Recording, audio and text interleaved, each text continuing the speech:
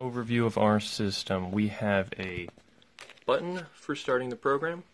We have a buzzer to notify us when our program is done.